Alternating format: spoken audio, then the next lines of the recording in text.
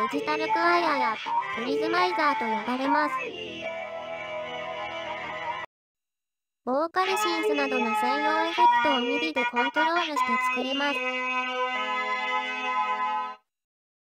ハモらせ方は、メロディに沿うよりもコードで動かない方が雰囲気が出ると思います。完成です。Hey yeah, hey yeah, hey yeah.